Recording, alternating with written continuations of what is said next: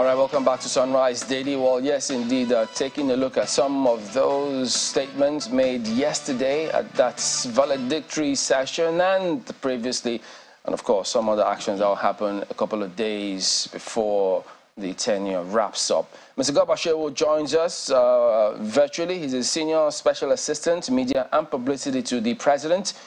Uh, we also do have Mr. Godson Okoye, who is a former presidential candidate of the UDP. Good morning, Chief. Good morning, Mr. Shehu. Thank you both for joining us on the program today. Good morning. Thank you for having me.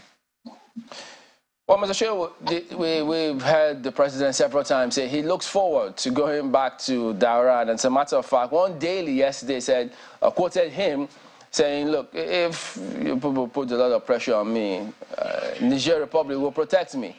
So, uh, and then we also thought, well, since the president is eager to go back home, many also thought, well, by extension, naturally, he will just dissolve the cabinet after that valedictory session because that's what they expect will follow naturally. But that wasn't done.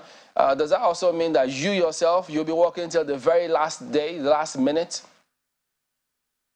Well, uh, thank you for giving us this opportunity. And I think that we, we even after eight years, Nigerians still need to get used to the president's sense of humor. Uh, this thing about uh, going to Niger or protection from Niger, if you see how people are taking this very seriously, it's, it's as if to suggest that the, the president has, you know, loyalties outside the camp. That is absolutely not the case. He just has a way of throwing banters. And a way of easing tension around himself. And, and look at the, all of the excellent relationship he's leaving behind with our neighbors. If you are Nigerian Republic, you probably feel good about the president of Nigeria saying this about your own country, that he looks to you, you know, for protection or support. And, and uh, enormous cooperation from neighboring countries, especially in fighting, you know, uh, terrorism. So yes, uh, uh President uh, asked them to stay, and uh, I don't think there is anything unusual because all executive houses, you, you are very familiar, more familiar with house than uh, on the of, of what the constitution says. The entire executive authority of the nation is, is reposed in the personal office of the president.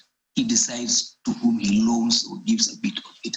So if he remains in office until Monday, 10 o'clock, when uh, incoming President Asiwaju Tinubu takes off, it then means that that those powers are all available to him. And yes, his ministers uh, will continue.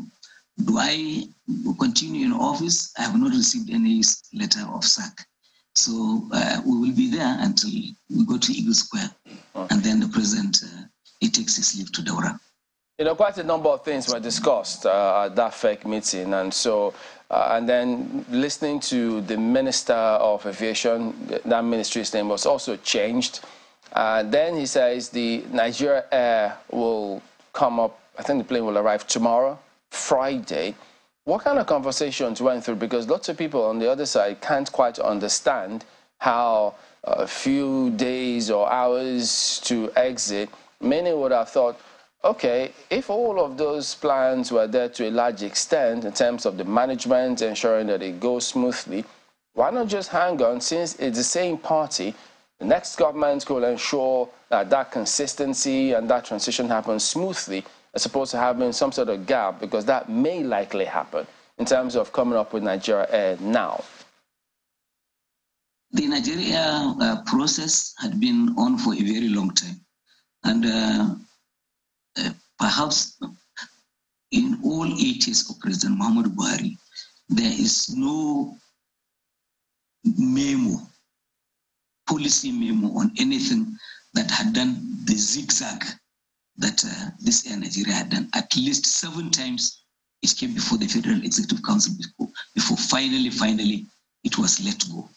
But don't forget that just when everything was set and for the airline to start, domestic operators in Nigeria, Nigerian Airlines, went to court and they got an injunction which said that Nigeria Air must not fly. This held up everything until barely a week or two ago. The minister has been bashed unfairly all over the place. He has been doing this with all of the commitment to put this airline in place, but simply that obstacles have been put on his path every inch of the way. Until just a week or two ago, when finally, finally, then the thing was declared for its resumption. I don't blame him. He wants to make history. The minister who put who gave Nigeria a new airline.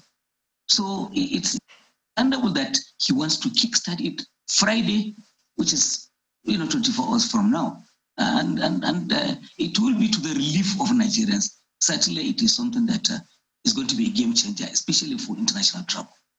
Did you say history, uh, Mr. Garba Shehu? Because some people will say that uh, after the collapse of Nigeria Airways, that there was an attempt to bring back an airline through Virgin Nigeria, the collaboration that the Nigerian government tried to have with Virgin Atlantic. Uh, so this is not exactly anything new. What he was saying was people were questioning this collaboration and how it was going to work with uh, the main source of income of another country, Ethiopia Airways. This is entirely different. Uh, it is entirely new because uh, past attempts had uh, been made to use resources from the treasury to run business. And government is simply, simply a bad manager of businesses. We will continue to fail so long as these things are run by government. And this realization necessitates the fact that government of Nigeria will itself be a minority shareholder in this enterprise. It's going to be essentially business run. And that will mean that it will succeed. Well, we'll wait and see, Jessica. We know that the minister, I mean, you said you've been empowered to work until the very last day. We don't know how many flight rounds this is going to make before the new administration comes in. We'll wait and see just how that works and whether or not it's something that the new administration will also support. Uh, but I'm wondering, looking at all that has been said, um, all that was said at FEC yesterday, and perhaps just some of the news that we also still saw, especially playing out at the National Assembly, the fact that 17 months after a probe reps that members of the House of Representatives were unable to ascertain just how much petrol Nigeria consumes and how much we're paying subsidy on. The fact that uh, for the first time in a very long time, Interest rates have been hiked to 18.5% by the uh, Central Bank of Nigeria. The fact that, uh, you know, inflation is running away with the wind. Food inflation is at a high that, you know, it hasn't been seen until recent times. I'm just wondering, how is the Buhari administration able to say that it has been able to, it has fared in the face of these statistics coming out from government officials themselves? Well, if you are fixated to the odd numbers, the negative numbers, that sense of uh, despair will prevail. But people can also choose to focus on the things that are very positive. If, if, if, if assuming without meaning to be personal, assuming you were the granddaughter of a Nigerian citizen who worked in the railway, your grandfather left, he didn't, he died, he didn't get his pension. His son died, didn't get his pension, and you now have a president who has paid pension. To sign for their grandfathers, children coming to sign for their fathers. Historical debts of pension are being paid. Was a president who has eradicated the polio. There are things that we live with and they become normative. President who has abolished grand corruption. So it depends on what we choose to focus upon. Inflation, we have said all the time that is a global phenomenon. Cost of living crisis, two nights ago, they had an election in Greece and they were calling it cost of living election. Because it was the sole determinant.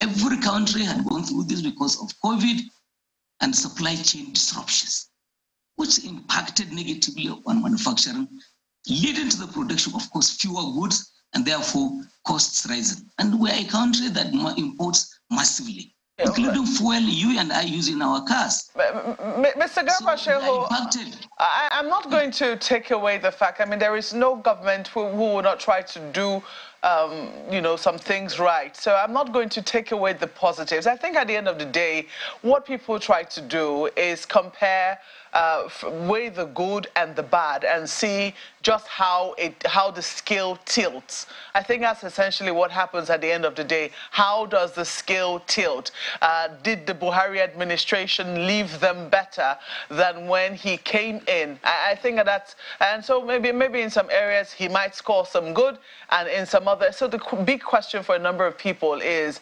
are, are, they really being left in a good place? The three key promises which he made to fight corruption, to you know better the economy, and to also fight insecurity in these three areas. Uh, you've just spoken about how the president has fought grand corruption. By that, I imagine that you mean uh, that himself and perhaps his vice president, uh, you know, were not interested in any of the contracts that were being issued, and nobody could mention the president's name in connection with any contract. However, when you talk about grand corruption, we also have to talk about our crude oil production which even as said yesterday, the CBN governor was complaining about how we are now at 1.1 million barrels per day. The amount of theft of our crude oil being produced in the creeks has been unprecedented in recent times. And people know that that is not committed by ordinary people. That is committed by people who are high and mighty and in sometimes, uh, in some cases, have protection uh, so I'm wondering, how would you say, uh, you know, how would you really assess that uh, statement that, oh, the president fought grand corruption in the light of this sort of revelation, especially when you look at the theft of crude oil? Well, I'm not going to be that spokesman who will say that uh, theft is not corruption. Fact, we, I think we had a former head of state who sat before television and said the uh, stealing is not corruption. So it's worrisome. But uh, the difference President Buhari makes, and he has made over these years, is that that the, the thieving, the theft, is not directed by state. You had in the past a situation where the authorities determined that $2.3 billion be brought from CBN, put on the table and shared on a table, and everyone put it in their pocket and, and just walked away. And the trials are still ongoing in our courts. So that has gone away. A petty corruption is still there. You encounter it dealing with uh, maybe the water supply people or law enforcement. It does happen. But even then, the environment is, has substantially changed by the acceptance of the fact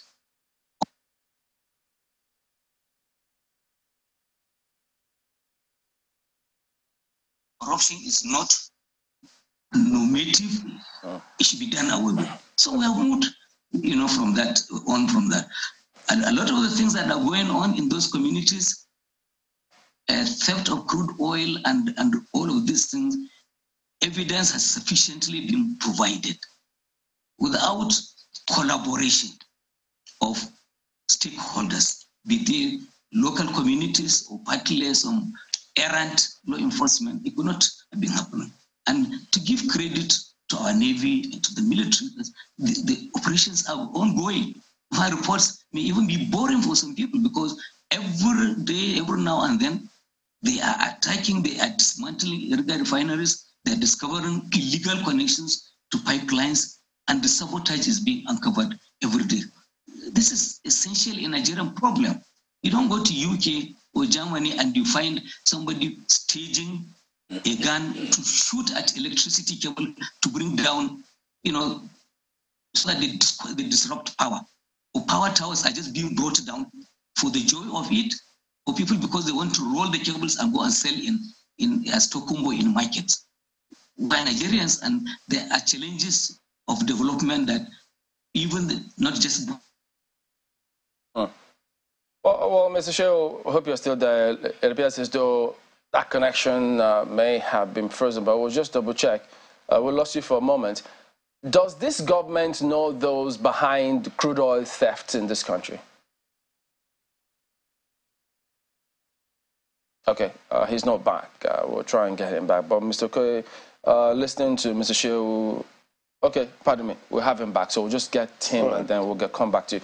Uh, Mr. Shehu, I, was, I, I, I, did ask you, does this government know those behind the crude oil thefts going on in this country? Yes.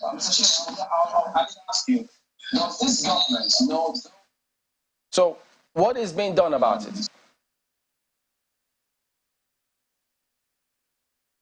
Unknown. Many have been arrested. Many have been arrested and they are being prosecuted. The National Office of the National Security Advisor has done a lot of good job uh, uh, uh, uh, packaging those cases and presenting them before the law courts. Are you looking for the names of maybe senators or ex-governor also? They probably are not there. But if they are kingpins of that size of influence, the, the, the, the law has a very long arm and eventually it will catch up with them. Mm. Well, from okay, well, we have Chief Okoye here. Let's just uh, get him to weigh in on some of these things as well. Well, you heard a lot, if not all, of what Mr. Shehu has said. Government is winding down. Um, validatory FEC has held, so he's looking forward to going back home, Mr. President. So, from what you've heard and seen, well, uh, what do you think? Mm, well, very interesting uh, commentary and narrative, but um, sometimes when I listen to some of these people, you think whether they live in the country or whether they live in another planet. Uh, this, this is a government that came in with very massive uh, support, popularity, goodwill. And, uh, you know, not know, distant uh, period of time, they squandered the whole, the whole thing.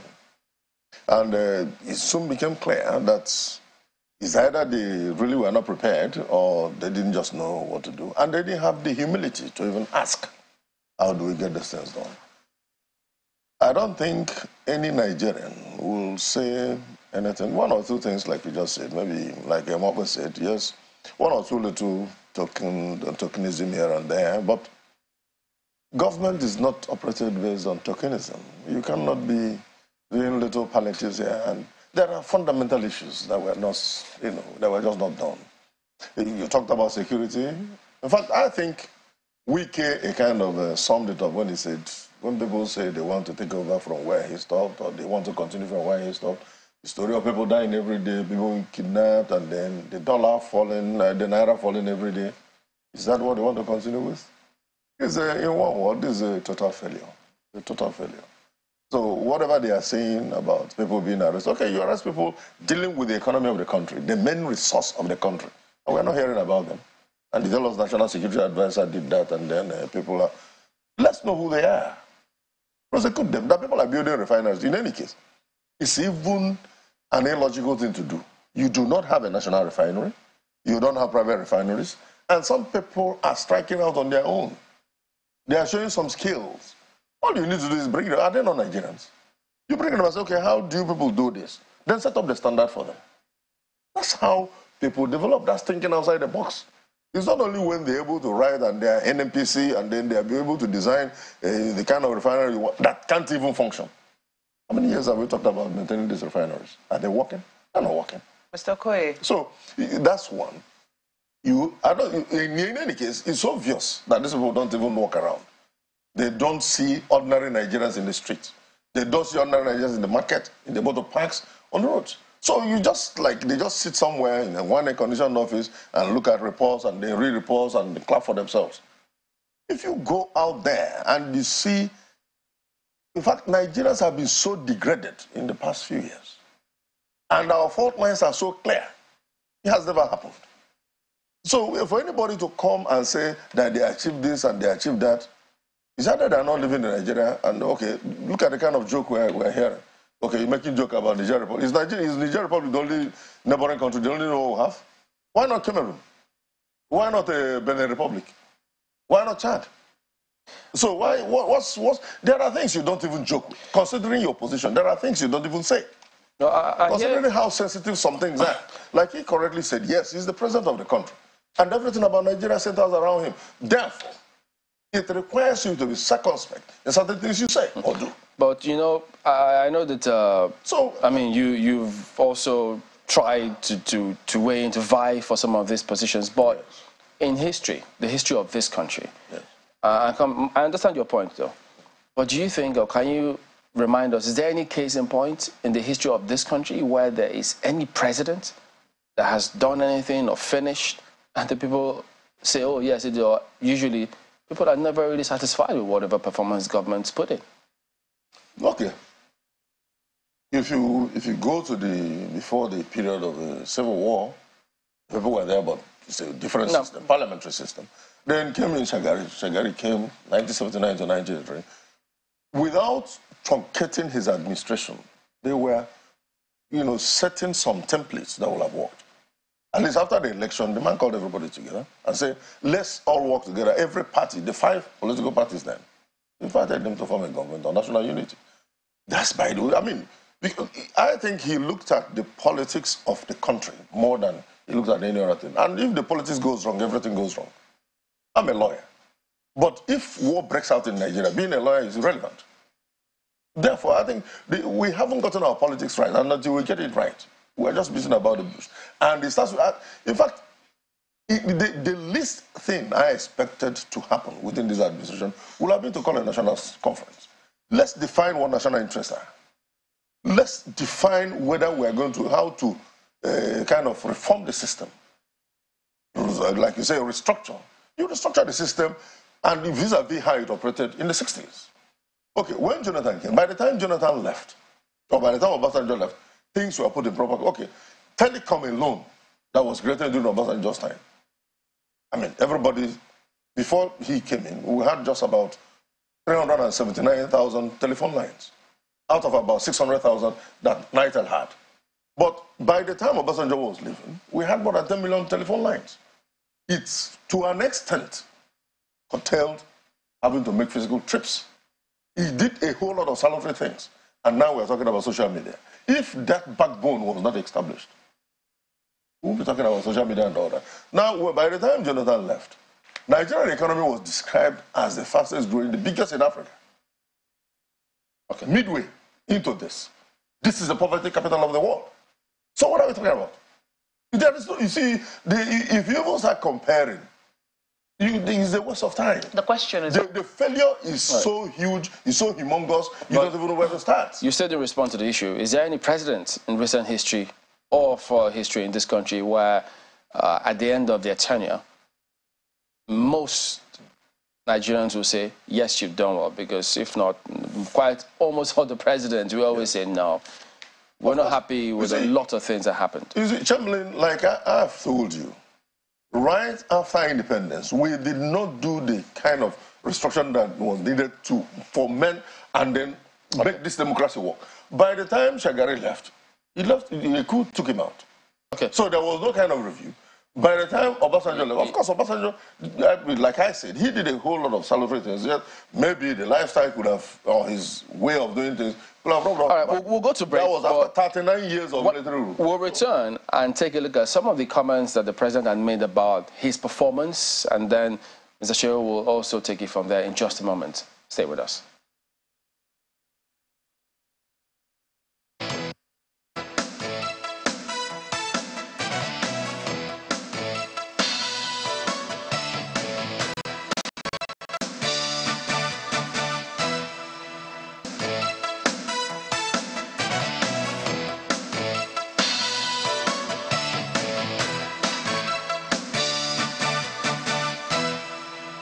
Well, thank you for staying with us. Uh, let me quickly um, follow up on that question that Chamberlain asked you, Mr. Okeke, um, about uh, the presidents that have uh, held office in this country and we never see anything good about them when their tenure ends. The follow-up is, in most cases, we always, after the new government has come into office, we always seem to praise the previous government. Oh, the previous government was better. I mean, you would recall the number of things that so many people have said about the Jonathan government, that ah, it was so much better than the Buhari government and all of that. Meanwhile, during the Jonathan government, were, many people were, were complaining about this, that, and all of that. Don't you see the same thing happening, or rather, do you see the same thing happening in this case? Maybe around six months, one year down the line, will be, many people will be praising the current administration for what we didn't know was good that they were doing while in office. Well, uh, thanks for the question. And uh, I'm Okoye, not Okeke, if I heard you well. So, um, you, see, uh, follow that. Normally, like I said, people have weaponized the ways of taking resources from the system instead of weaponizing solution to the problems of the masses. And that's why sometimes people refrain from saying things they want to say because you, you don't know where their bread is buttered. Because everything is about Naira and Kobo, and it doesn't make sense. No, no country oppressed like There must be ground rules. There must be fundamental issues. You must set down the principle. There are no principles, there are no values. And that's why people are more interested in their stomach. Now, the, the second thing is the, the quality or the strength of the opposition. During Jonathan's time, you had a very strong opposition. It was very strong in the media, but the, the, there was nothing that Jonathan did that was right. They weaponized the opposition so badly. But now, when people are even supposed to be, okay, what was the price of petrol at the time of Jonathan? Let's even start from there. How many times have we increased the price of petrol? Where I come from, it doesn't even sell for what you talk about the official price. In the East, if you buy it at 240 or 250, well, you're very lucky.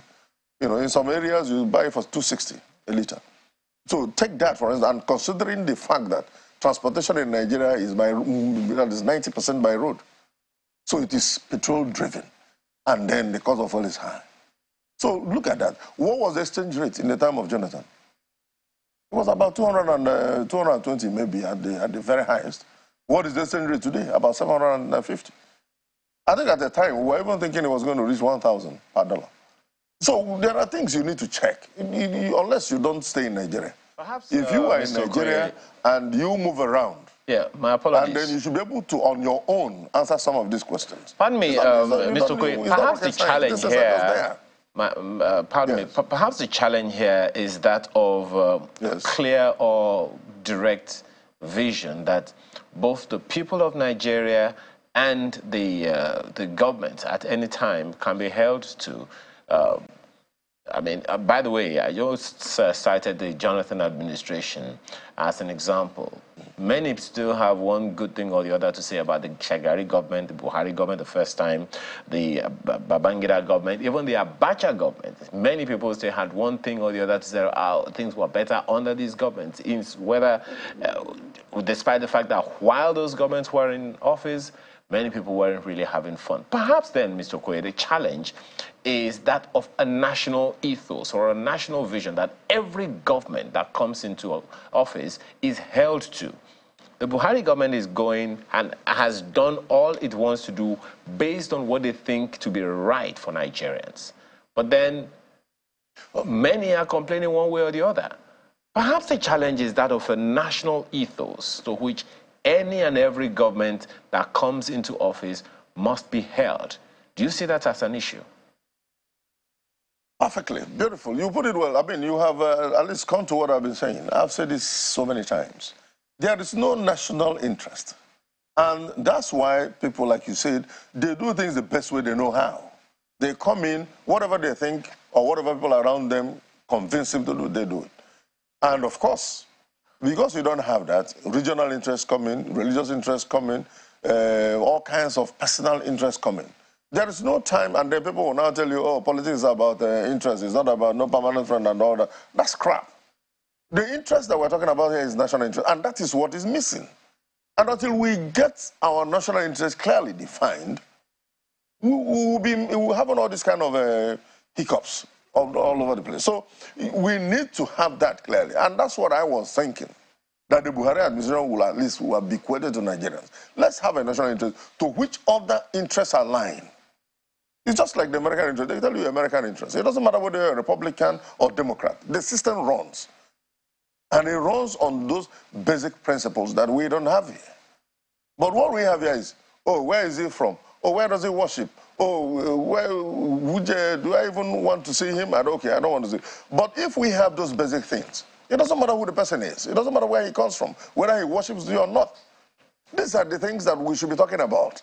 And because destiny is lacking, people take advantage of it to the detriment of the country. And things have gone on wrong for too long. And that's why the young people that are coming, and if the elderly ones can't fix it, the way the young people will do it will leave everything in tatters. The way this thing is going, because most of these people don't actually good. Okay, like, for instance, you, they will tell you there's telephone everywhere. But if you travel from here through Lokoja to Itobe, and then maybe you're going to Enugu, you see there are so many dead spots where you can't have service. Assuming there are crises on that road, because, but if these people travel by road, they will say these things. And they will form, formulate policies that will address them. But because most of the time, okay, you take a flight from here to Enugu, 45 minutes, 15 minutes, you're out. You don't know what other road users, other travelers are saying. Right. So there has to be clearly defined national interest or national interests, like you have said. For as long as we don't have that, right. it will be like what Fela said. It's like a ball, a little ball in the street kicked. It will roll and roll and hit the head on this wall. It will roll and roll and hit the other. That's just Fela, in fact, saw Nigeria a very long time ago. I saw it very clearly. Most of the things he said, if you listen to his music. Okay. So uh, what Mr. you just said just kind of, uh, you know, proves that. Uh, let, let, me go to uh, Mr. Garba Shehu. I, I, know he might have a response or two or even more uh, to some of the points you have raised. Uh, so, Mr. Garba Shehu, he has a very, very critical assessment of this administration, which you speak very highly of. And uh, would you say, is that because he's not the grandchild to someone who's gotten pension? Because for him, some of these things you mentioned are just tokenism. Well, uh, I, you don't blame uh, Mr. Okoye, a politician who is running for office and who possibly doesn't know that the election hearing is over. Actually, the, the vote has uh, been cast and the winner has emerged awaiting inauguration. So election hearing is over, it has to wait four more years. That's my message for you. And he, he thinks President Obasanjo will be remembered for telecoms. That's a fantastic idea. That uh, President Shagari will be remembered for this and bringing people together. Yes, I want to tell him that Nigerians will remember President Muhammadu Buhari for raising power availability to 20,000 megawatts for doing second Niger bridge, for paying pensions, for doing bridges, Loko-Oweto. All of these things, social investment. Never of, have we seen this in size and the performance on the entire continent. Four million children taken off the streets, out of school children, removed from the streets and put back in, in school. And so there's so much to remember President Muhammad Buhari for. And I totally agree with the two of you, I all of that, and and and and and and, and, and Chamberlain. The honeymoon period for Nigerian governments is a very short one, and uh, they, they welcome you, they love you, but from the beginning, shortly afterwards, this love turns into hate. We don't like our leaders. It is after they leave, off, they leave office that we begin to shower praises and love them. So we are content with that. That's why we're not bothered. We go and sleep very soundly. They abuse all of us. The crown is on our head today. Right. It will move from President Buhari's head to the head of uh, President Asiwaju Tinubu in a few days. And as they say, uh, easy lies the head that wears the crown. But some would say uh, well, President Buhari overpromised, and for them, he underdelivered. And when you talk about power, uh, a lot of people will be watching, really, because the capacity we have or our potential is way different from the reality. Just two days ago, uh, the reps, the House of Representatives, was asking the federal government uh, to do something to tackle the power sector crisis. So that's very much in the face of a lot of Nigerians, and it was a major one uh, for the House of Reps. But on a final note, uh, Mr. Shehu, what do you say to Nigerians who listen to you, who have listened to you for eight years now, almost eight years, have listened to Mr. Adesina, and as Chief Okoye said, he wonders, Do these people even stay in Nigeria? Do they face our reality? So what do you say to those people who listen to you and wonder, how do these people sleep at night? Because for them, the government did not perform up to expectations. What do you say to those people who sometimes they see you on TV and are like, no, I, I don't want to listen to Mr. Shehu. I don't want to listen to Mr. Adesina because I do not trust what they say. Well, what I will say to them is that President Muhammadu Buhari is a, is a victim of the tyranny of expectation.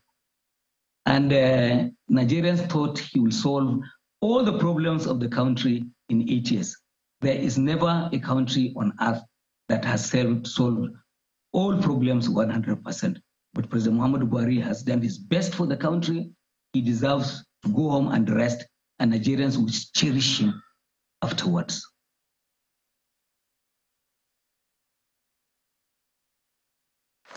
Right, so Mr. Shehu, what will you be doing after you leave office?